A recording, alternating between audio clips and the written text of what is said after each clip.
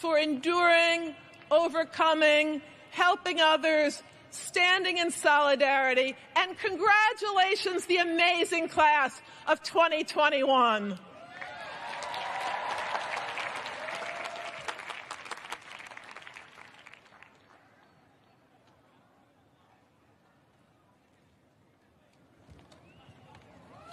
Good morning. As provost, it's my great pleasure to acknowledge the many awards and distinctions accorded our faculty and students this year. Their achievements, many of which are listed in your commencement program, bring honor to them and to the university and deserve our full recognition. I urge your special attention to those members of the faculty who have been honored for their, for their teaching. The eight recipients of the Lindback Teaching Award, the four recipients of the Provost Awards, and those faculty who have been accorded teaching awards from their individual schools. I would also like to recognize the members of the faculty who have stepped down after many years of distinguished service. These dedicated scholars have devoted their careers to the acquisition of knowledge and have shared their wisdom and their insights with students, inspiring them in their own intellectual pursuits. Faculty members who have retired after a lifetime of scholarship and teaching exemplify the high ideals and standards to which all of us in the Academy aspire. Several members of the class of 2021 have distinguished themselves in their academic studies and in their service to the university. I will first name those receiving senior class awards and leadership awards and then acknowledge those receiving academic honors. Please stand when I announce your name and remain standing until I've completed the list. I ask the audience to hold your applause until all the award recipients have been announced.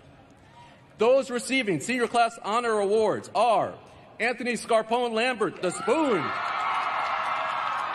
Jude Darty, the bowl. Max Joa, the cane. Camilo Duran, the spade. Mercedes Owens, the Althea K. Hottel Shield Award. Elizabeth Ushai, the Gaylord Pete Harnwell Flag Award. Elizabeth Eckert, the David R. Goddard Loving Cup Award and Messiah Collins, the R. Jean Brownlee Skimmer Hat Award. The winners of the President's Engagement Prize are Elizabeth Eckerd, Martin Leet, Christina Miranda, Amanda Moreno, Natalia Rahman, Sarah Simon, and Leah Vojtovich. The winners of the President's Innovation Prize are Yuan Lee, Aris Saxena, and Anthony Scarpone Lambert. Those seniors receiving leadership awards are Jamie Chung, Asian Alumni Network Student Leadership Award, Uche Nawagulu, Association of Alumni Fathers Trophy. The Association of Alumni Robert J. A. League Senior Award goes to Sydney Bell and Paige Orner. Francis Paulino, Association of Latino Alumni Student Leadership Award. Connor Beard, Association of Native Alumni Student Leadership Award. Jordan King, Black Alumni Society Student Leadership Award. Grace Lee, James Brister Society Student Leadership Award. Lauren Grishow Shade, James Brister Society Graduate Student Leadership Award. Andrew Douglas, Class of 1915 Award. Camilo Duran, Lesbian, Gay, Bisexual, Transgender Alumni Association Student Leadership Award. William A. Levy Kite and Key Society Award for Service and Scholarship goes to Sophia Gonzalez and Ria Nanja. The winner of the Sol Feinstone Undergraduate Award is Dallas Taylor. The winners of the Penn Alumni Student Award of Merit are Sanea Barguagar, Sophia Gonzalez, Daniel Gordon, Andrew Lamb, Jennifer Richards, and Emily Solomon. The Trustees Council of Penn Women Michelle Huber and Brian D. Giles Award goes to Jason Sean. The Trustees Council of Penn Women Student Leadership Award, Sakshi Sagal. The James Howard Weiss Memorial Award goes to Karen Herrera.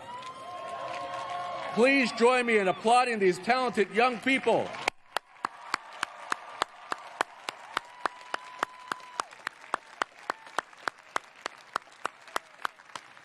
You may sit down. Now, I would like to acknowledge those who have been elected to the Principal, Undergraduate, and Graduate Honor Societies. Please stand as I name each society. Phi Beta Kappa, Matthew Cryer Honor Society, Omicron Kappa Upsilon, Eta Kappa Nu, Tau Beta Pi, Omega Alpha Omega Alpha, Gold Humanism Honor Society, Sigma Theta Tau, Phi Zeta, and Beta Gamma Sigma. Will all students who are the recipients of various prizes and awards granted by their schools and departments, and those who by their academic accomplishments have earned scholarships for advanced study, please rise as well. I ask the, the audience to join me in saluting these outstanding young people.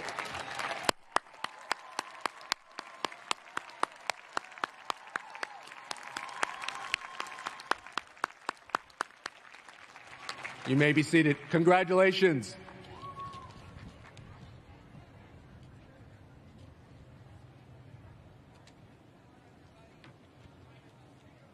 Good Morning, President Gutmann, Provost Pritchett, trustees, honorary degree recipients, faculty colleagues, families, friends, and most of all, congratulations, class of 2021. the first statue of Benjamin Franklin to appear on the Penn campus was commissioned by the class of 1904. It's located in front of Weightman Hall at what was then the center of the campus. It depicts a young Franklin with his walking stick and satchel as he would have appeared on his way to Philadelphia in 1723 when he was 17. He took a ship from Boston to New York, and when he couldn't find work in New York, he walked to Philadelphia, where he eventually found a job as a printer. He soon sailed for London to obtain materials to start his own print shop, absorbing its metropolitan lessons for a couple of years, but then returned to Philadelphia. I could point out that Franklin walked through Princeton on the way, but did not stop to start a university there.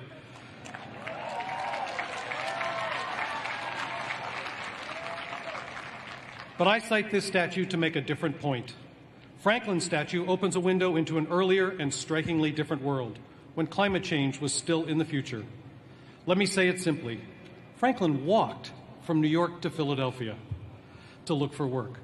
The New Jersey that he walked across was all field and forest, with a climate that had been stable since the last ice age. The London in which Franklin landed was probably the largest metropolis ever powered by wood, wind, and water. But within a century, uh, its explosive growth would be fueled by coal.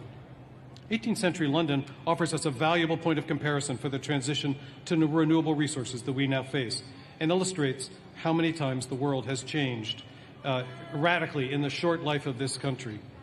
My grandmother was born in a world without cars, refrigerators, or radios, uh, and at the end was flying to London to visit friends, just as I was born in a world without the internet or responsive electronics, while you interact digitally with complex friend groups beyond my experience. The invention of a low carbon economy is not just a technical project, but a social, political, and economic one in which we all have to invent new ways of living and working together. My point is that this country has been adapting to radical change since Franklin walked across New Jersey. So we look to your generation to imagine and build the low carbon world that must come next. Franklin's statue also reminds us of the grit and persistence needed for success. This is the story Franklin told in his autobiography, and it's a lesson you've already absorbed, or you wouldn't be here. Among all of Franklin's many written words, the class of 1904 chose for these for the base of the statue, and I quote I have been the more particular in this description of my journey that you may compare such unlikely beginnings with the figure I have since made there. Franklin was justifiably proud of his accomplishments, but I think there is a more subtle point we can read in his comment, which is that many accomplished people are never fully convinced of their success.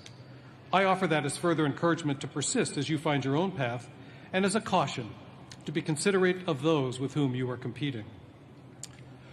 Through his long career, Franklin came to personify thrift, and I can think of no better virtue to recommend in the face of global climate change. As the latest book on Franklin argues, thrift means working productively, consuming wisely, saving proportionately, and giving generously. Thank you.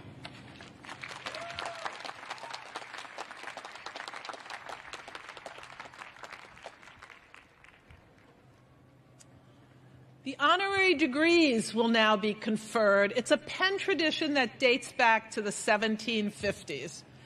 The full text of each citation is included in the commencement program and online. Elizabeth Alexander. With poetry as your torch, you bring light to our world. With your leadership, you strengthen the arts and open creative doors for more people everywhere. Penn proudly claims you as a sister of our alumni community. In fact, you published your first critically acclaimed work as a student here. President elect Obama asked you to deliver poetry for his inauguration. With Praise Song for the Day, you captured history and you cast all our eyes to the future.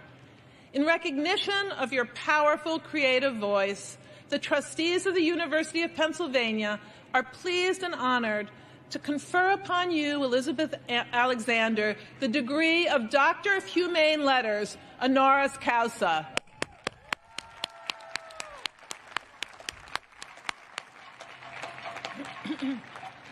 Frances H. Arnold.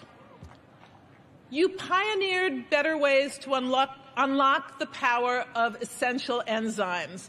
Life saving developments followed, winning you the Nobel Prize in Chemistry. You were the first American woman to have the honor. You are a faculty member at the Caltech, California Institute of Technology. With more than 60 U.S. patents, you have also found, founded multiple biotech companies. President Obama awarded you the National Medal of Technology and Innovation. President Biden named you to lead the President's Council of Advisors on Science and Technology, PCAST. For your discoveries and service to all, the trustees of the University of Pennsylvania are honored and pleased to confer upon you, Frances H. Arnold, the degree of Doctor of Sciences, honoris causa.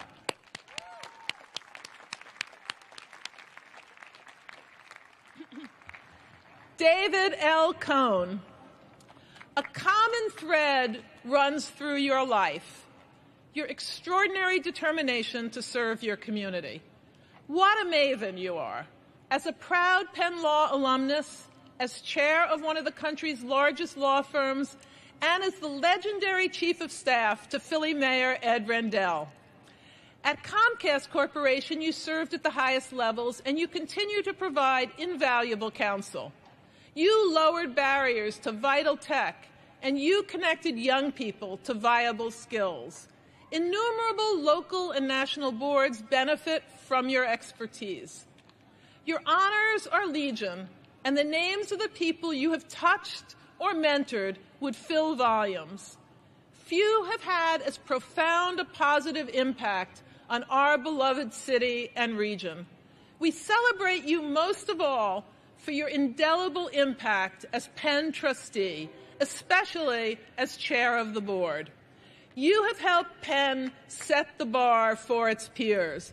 Engaging with students and faculty brings you the greatest joy. Your alma mater will forever treasure your visionary leadership, and your city will forever celebrate your passionate devotion. The trustees of the University of Pennsylvania are honored and pleased to confer upon you, David L. Cohen, the degree of Doctor of Laws, honoris causa.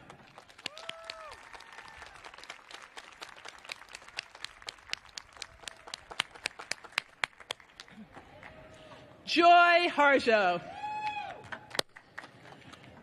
You were the first Native American to be named U.S. Poet Laureate.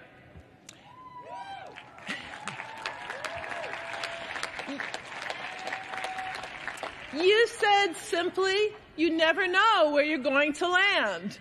We see courage throughout your journey. You published your first volume of poetry while still a student. Your poetry will be included on a plaque on Lucy, a NASA spacecraft launching this fall. Your memoir, Crazy Brave, won the American Book Award. You also perform as a vocalist and a saxophonist. Your albums include this year's I Pray for My Enemies and Winding Through the Milky Way. Across these mediums, your work bears witness to the present and the past, underscored with First Nations storytelling. In recognition of your courageous sharing of the truth, the trustees of the University of Pennsylvania are honored and pleased to confer upon you, Joy Harjo, the degree of Doctor of Humane Letters, honoris causa.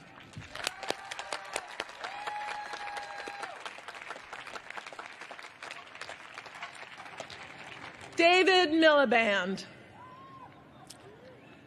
The first refugees I met were my parents.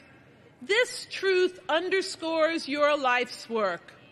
Through your leadership, you help millions of families in urgent need around the world.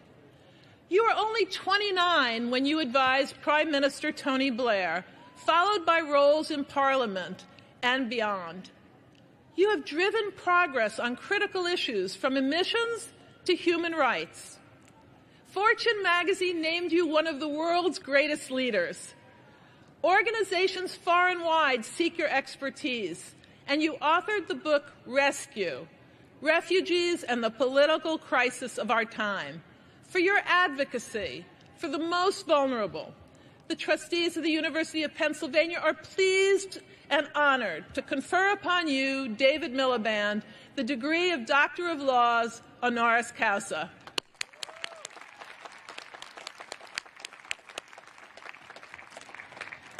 Laurene Powell Jobs.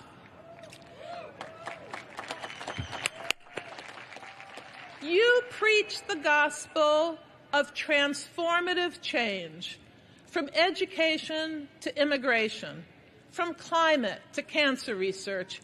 You inspire others to action. Penn claims you proudly. You earned your degrees in the college and in Wharton. Let's hear it for the college in Wharton.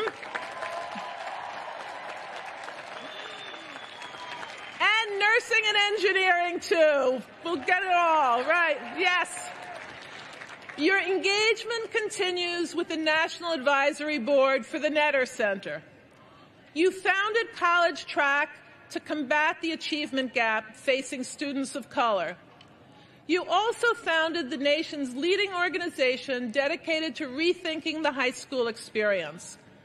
For your passionate determination to cultivate new opportunities for those most in need, the trustees of the University of Pennsylvania are honored and pleased to confer upon you, Laurene Powell Jobs, the degree of Doctor of Humane Letters, honoris causa.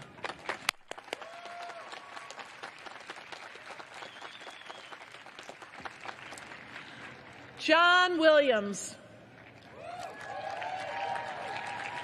You are called a living legend, a living history of the American movie soundtrack. And how true. Just consider a taste of your credits. To Kill a Mockingbird and Jaws, Schindler's List and Jurassic Park, E.T., Indiana Jones and Saving Private Ryan, nine Star Wars films and three Harry Potter films.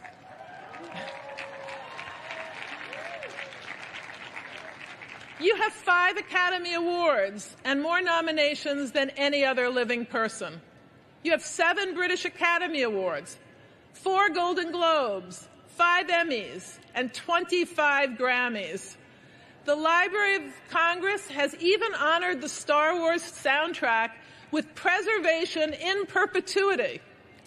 For the truly great music of our times, the trustees of the University of Pennsylvania are honored and pleased to confer upon you, John Williams, the degree of Doctor of Music, honoris causa.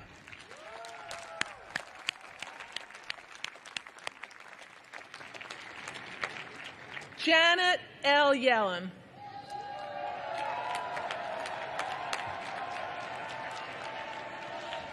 You are the first woman U.S. Secretary of the Treasury. As Dessa put it in the song, Who's Yelling Now?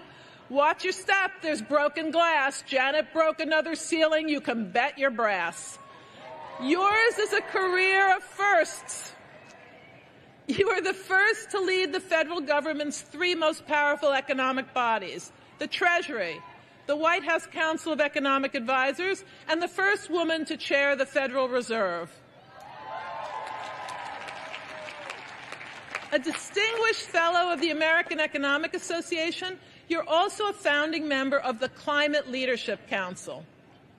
For your incomparable service to your country, the trustees of the University of Pennsylvania are honored and pleased to confer upon you, Janet L. Yellen, the degree of Doctor of Laws, honoris causa.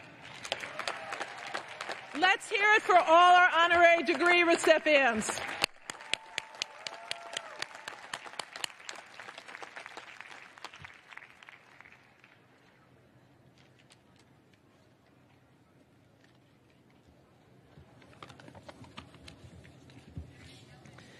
As provost, it's my honor to introduce our speaker this morning.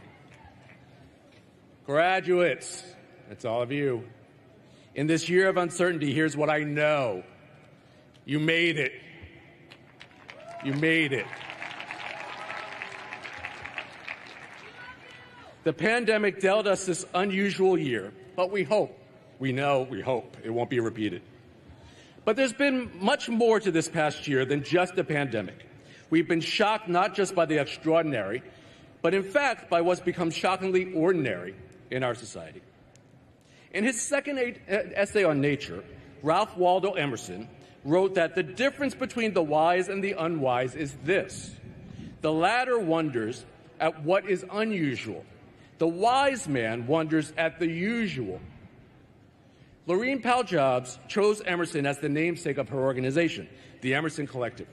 With her strong guidance and financial support, the collective strives to build a more just, more equal America. An America that questions and confronts systemic unfairness that has been normalized. A place that's come to expect business as usual. Unequal economic, educational, and health outcomes, restrictive voting measures, and runaway climate change.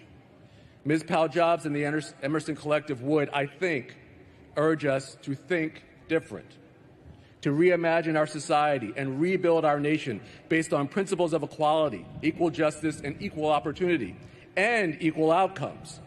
Through partnerships and strategic investments in education, environmental and racial justice, journalism, cancer research, and immigration, the collective intends to give $28 billion, an amount that Ms. Powell Jobs has noted represents her entire fortune.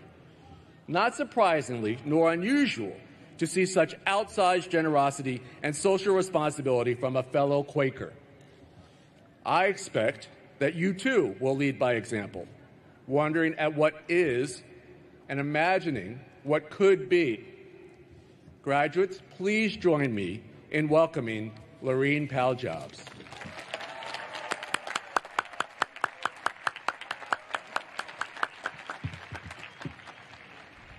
Thank you, Provost Pritchett. And thank you, President Gutmann and Board Chair Cohen, for your outstanding stewardship of this American treasure during these unprecedented days. Hello, class of 2021. Hello. Hello, graduates from around the world, from China, Switzerland, Kenya, and my own home country, the nation state of New Jersey.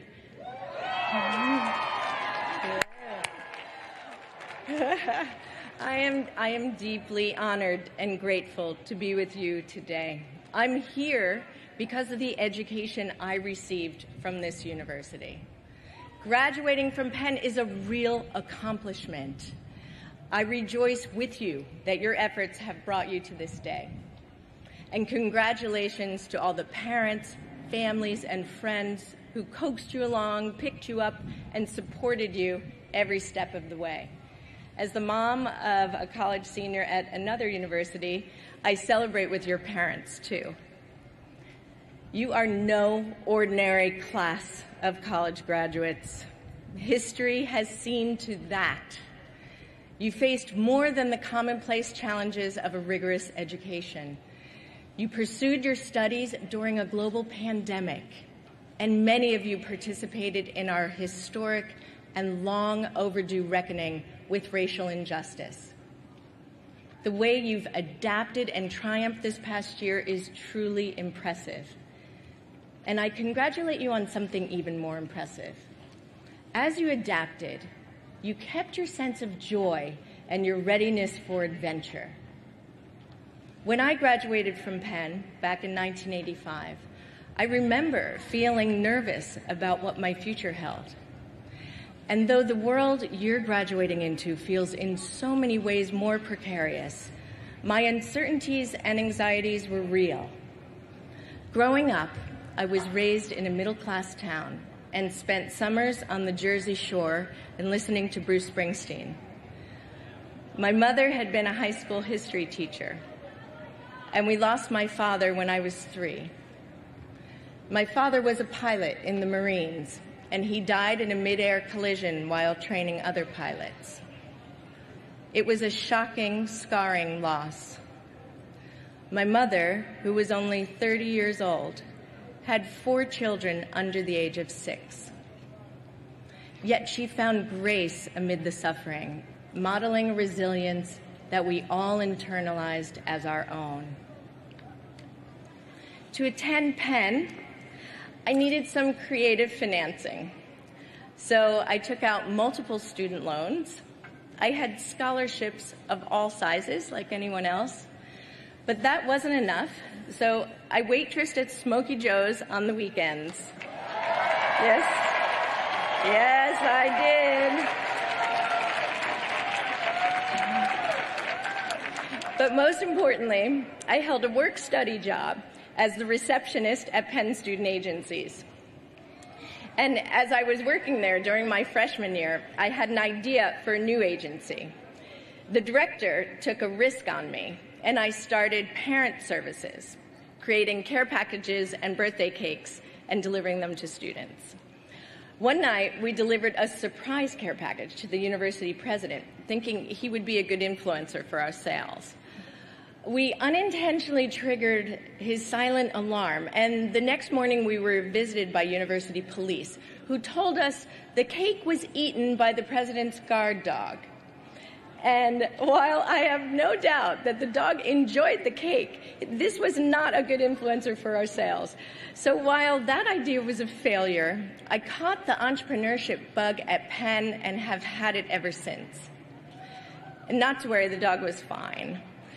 I share this with you to say I may not know what it's like to graduate during a pandemic or to enter a job market like this one, but I do know what it's like to feel both excitement and trepidation about what lies on the other side of a college degree. I know that in times like these, times of hardship and uncertainty, it can feel like the world is conspiring to shrink our sense of possibility to sour us to the daring adventure of life. I'm here to say, don't let it. I suspect many of you are feeling concerned because you don't know exactly what you want to do for the rest of your lives. Well, I didn't either. I did know that I wanted a life that included service.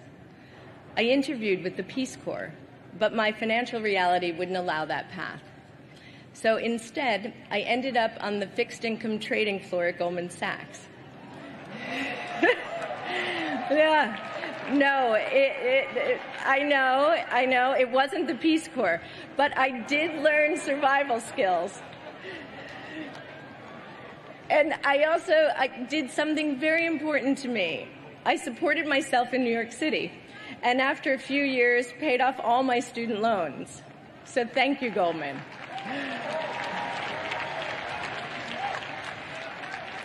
My experience at Goldman gave me something even more valuable. When I told my boss I was leaving, he assured me that there would always be a position at the company if I ever returned. And in saying that, he gave me, for the first time in my life, a safety net to fall back on. It was more than a promise of financial security, although that was wonderful relief. But with this safety net, I had permission to imagine the world not as dangerous, but as wondrous, to dream up different life paths.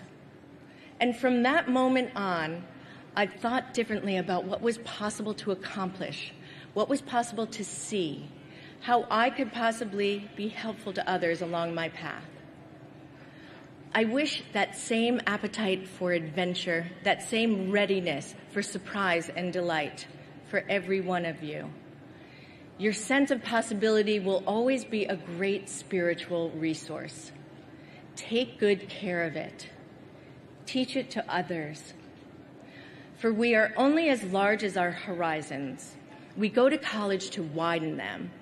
But the task of widening is the work of a lifetime. For me, I began to imagine how I could be useful to others. I felt myself changing. Change in ourselves and change in the world happens similarly. It comes slowly, slowly, and then all at once. What matters is your readiness for the moment of revelation, of challenge, of opportunity. We have to be prepared to walk through the door when it opens, or by our own power and purpose to open it ourselves. And sometimes we need to tear down walls, the ones within and the ones without. We learned this at the end of the Cold War.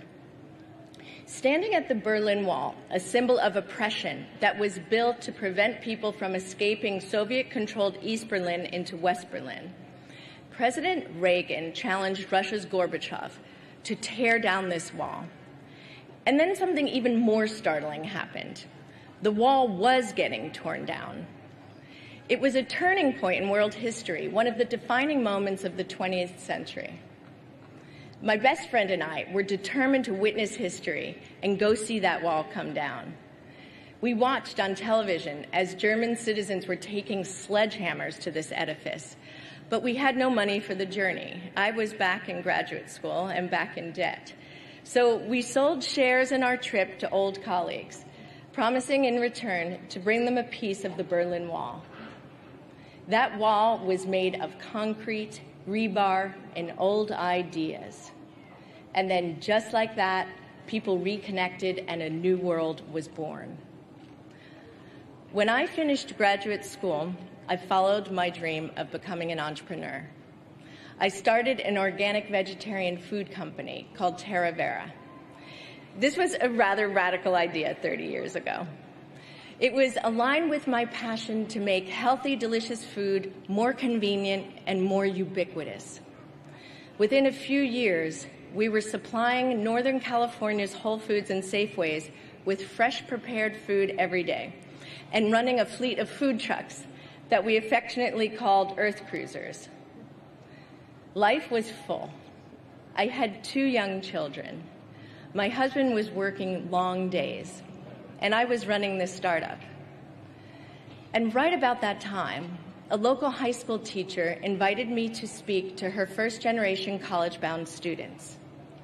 I agreed, not knowing my life was about to change. It was the fall of the student's senior year. I was so impressed with these students. They had everything it takes to succeed in college grit, tenacity, talent, and a will to persevere. In fact, they spoke about their college ambitions with excitement and joy. But it soon became clear that none of them had taken or planned to take the SATs. No one had told them that they needed to. Most had never visited a college campus.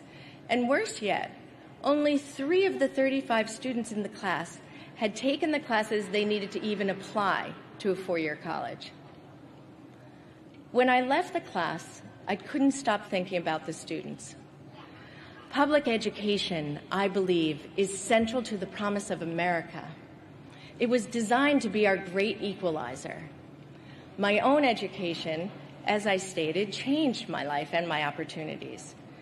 And yet, through the randomness of where they were born, these students' possibilities were narrowed for them. That day at Carlmont High School, well over 20 years ago, laid bare a disturbing truth in our country that while talent is equally distribute, distributed, opportunity is not. At some point in all of our lives, we must ask ourselves what happens when you confront an unacceptable reality? Do you act or do you look away? I chose the former.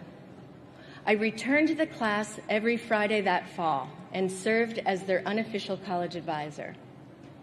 Soon after that, I stepped back from Terravera. It was a big life decision for me. I had wanted to start a company since I was here at Penn. It was why I went to graduate school. But when life opens a door, as it will for all of you, we must be prepared to walk through it. It was from that experience that College Track was born. We began with 25 ninth graders, knowing that if we changed just one of their lives, the whole effort would have been worth it.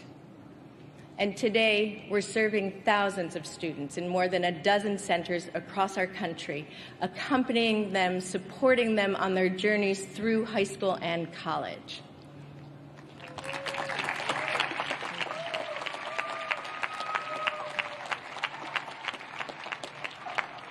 There is no higher or better use of your time on this planet than to be helpful to others. I learned this at College Track. All the systems in our society were created by people no smarter and no more capable than any of you. And through your energy and intention and force of will, you can change them. But only if you understand them. Identifying systemic breakdowns and then imagining new structures is why I started Emerson Collective.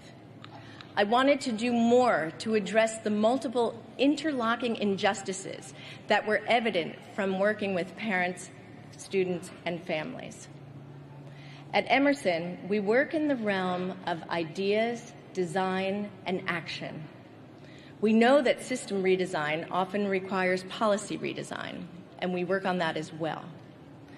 But overriding everything is a recognition that humanity is bound together and we realize our own potential only by caring for each other. Think about your own relationships here at Penn. Who you cared for, who cared for you. All of life is reciprocity, filled with the circular joy in giving and grace in receiving. It's important to partner your joy with humility.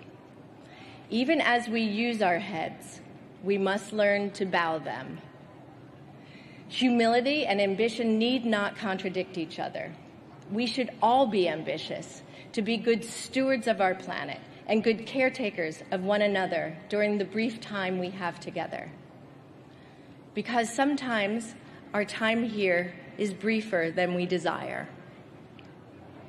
We lost my husband Steve almost 10 years ago. My children and I grieved along with people across the world. And I'd like to share what I learned about loss through that experience. We do not pass through grief and leave it behind. Instead, I found, we integrate it, along with the joyful memories, all the laughter, all the love, into who we are. One of life's most beautiful dimensions is integrating those you've loved and lost into your own being. We see more, and we understand more, and we love more.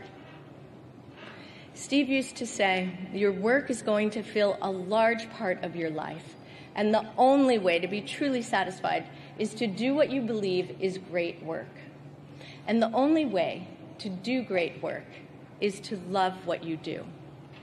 If you haven't found it yet, keep looking.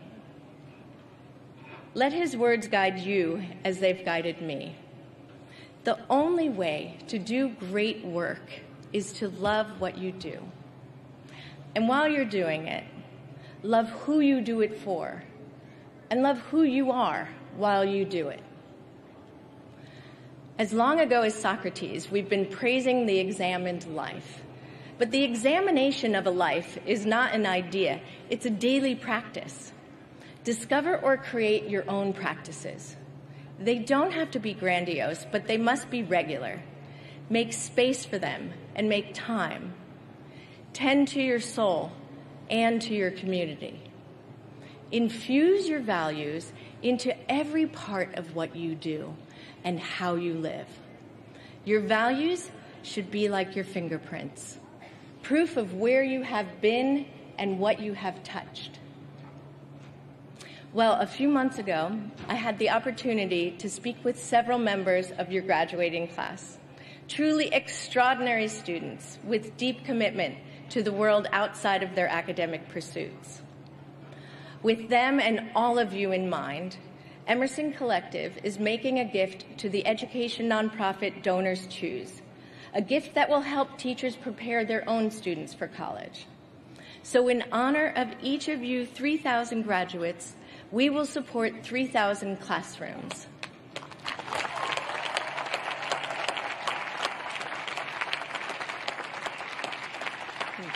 Graduates, you will all have opportunities to serve throughout your lives. Don't let them pass by. Align your talents, your spirit, and your energy to make this world more equal and more just. I assure you, the attempt itself will fill your soul. It is its own reward.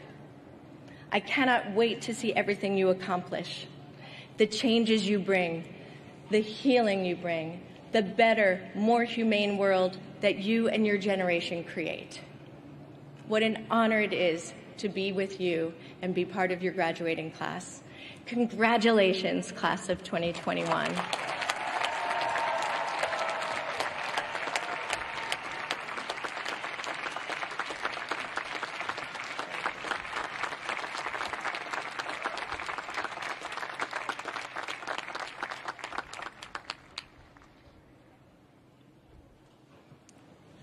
Thank you, Ms. Powell Jobs, for those inspirational words and for your leadership. Degrees will now be conferred. Oh, come on.